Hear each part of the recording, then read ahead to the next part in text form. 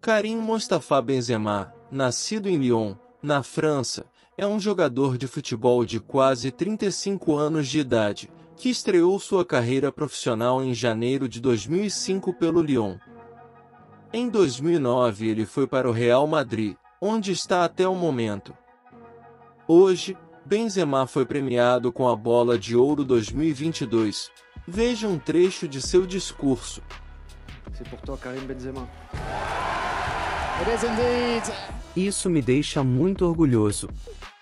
Todo o trabalho que fiz, nunca desisti.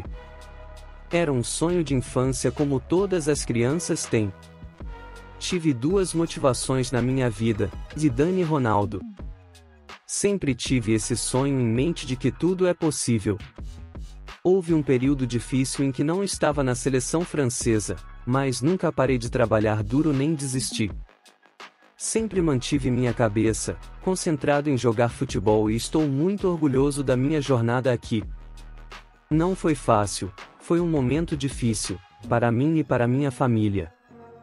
Estar aqui hoje, pela primeira vez por mim, estou feliz e satisfeito com o meu trabalho e sigo em frente,